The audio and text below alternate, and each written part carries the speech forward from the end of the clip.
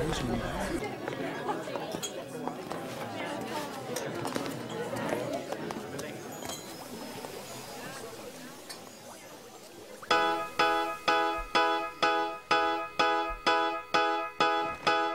met a boy.